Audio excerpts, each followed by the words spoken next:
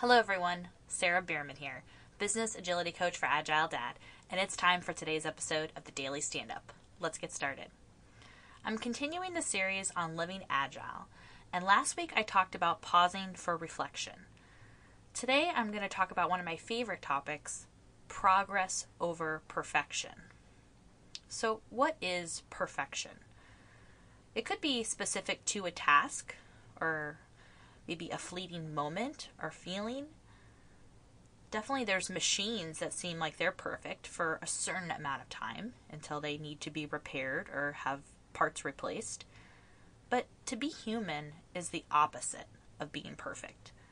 And just as we don't judge nature, like we don't look at a sunset and say, oh, that is not perfect, humans are part of nature and we should not be judged for our imperfections.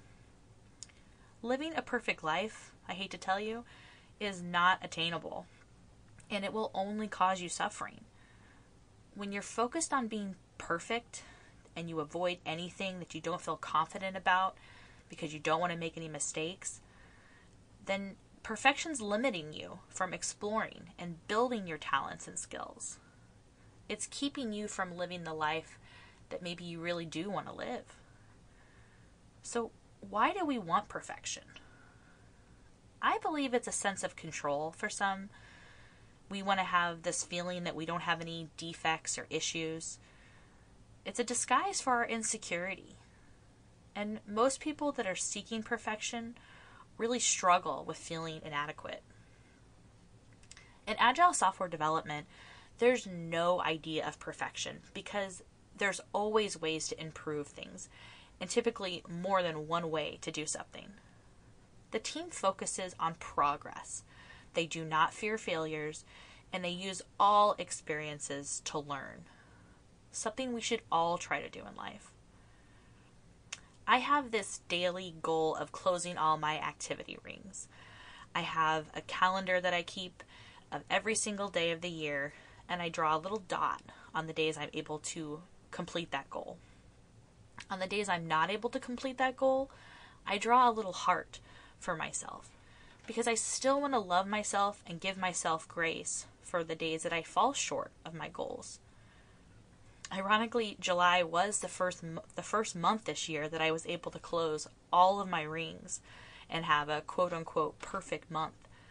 But honestly, it didn't really make me feel any better than the other months because it's all about continuing to make progress and being more physically active.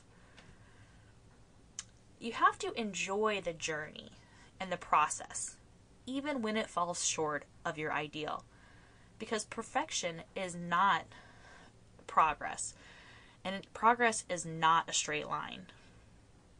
If you're only celebrating or feeling joy at the end of something, then you're missing out on most of the moments of life. Sometimes we need to fail in order to learn something that will help us progress more than any perfect experience. What is the closest that you can feel to perfection? I believe being in the present moment is the closest thing that we have to perfection. When we're not distracted with our thoughts and judgment, that is when we are really alive. I hope you're able to find joy in your progress and to reduce the need to find perfection in the rest of your week. Remember to stay focused, keep it simple, and you will be successful.